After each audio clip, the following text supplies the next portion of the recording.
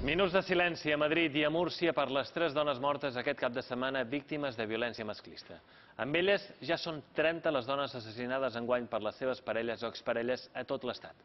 Balears va ser l'any passat la comunitat amb major taxa de violència masclista.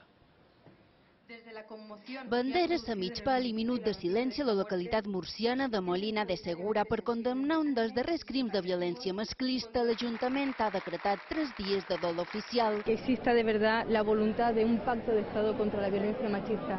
Es una necesidad, es una realidad que estamos viviendo todos los días y esta barbarie hay que combatirla y hay que combatirla con políticas efectivas. En aquest centre d'assistència per a persones autistes, un home de 48 anys va apunyalar la seva companya de feina de 31 i després es va penjar. No hi havia denúncies prèvies per maltractament com tampoc existia cap en els casos ocorreguts a Collado Villalba, a Madrid, i al barri madrileny de Ciudad Lineal. Balears no escapa de la xacra de la violència masclista. De fet, és la comunitat autònoma amb major taxa de víctimes per violència de gènere. 93 víctimes per cada 10.000 dones, segons dades de 2016. Les denúncies l'any passat augmentaren un 13,5% i arribaren fins a les 5.268.